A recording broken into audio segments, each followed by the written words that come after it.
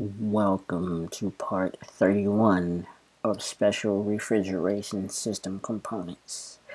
You have the internal heat defrost, and here obviously these are the least common defrost, and here we have the hot gas defrost and what it's supposed to do.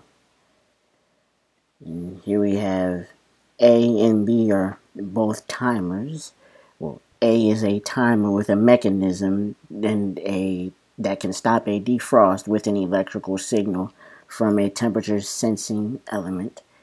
And when the coil is defrosted, the coil temperature will rise above freezing, and then there will be no reason for the defrost to continue after the ice has defrosted or melted. That's it, and uh, have a good one. I'll see you next one.